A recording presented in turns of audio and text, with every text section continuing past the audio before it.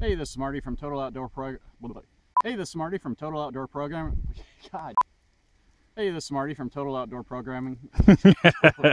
hey, this is Marty from Total Outdoor Programming. I'm going to bring you a quick how-to on something that happens quite a bit when you're out hunting, and that's crossing fences. Uh, it's one of the easiest ways to get an accidental misfire and hurt somebody that you're with or yourself. Uh, first thing that you want to do, you should always unload your gun first before you cross a fence. Uh, if for some reason you are not going to unload your gun first, uh, what you want to do is start off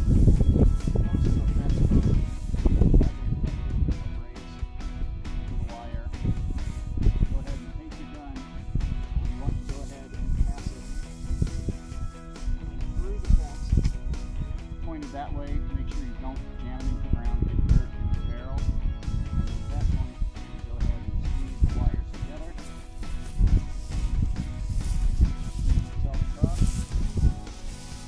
pick up your gun. Double check without looking straight down the barrel. Double check, make sure that you didn't lodge anything in the end of the barrel. And you are good to go. Number one thing you do not want to do is try crossing that fence with the gun in your hand. Definitely also do not lean it on the fence and try and cross over. That thing starts to slide your way and tips, the barrel is going right at your face. So always keep safety in mind. Make sure you slide the gun through first, barrel pointed away. Make sure you don't jam it into the ground. Cross carefully, pick it up, you're good to go after you double check your barrel. So hopefully that helps. Uh, please subscribe if you like the videos and we'll keep more coming for you.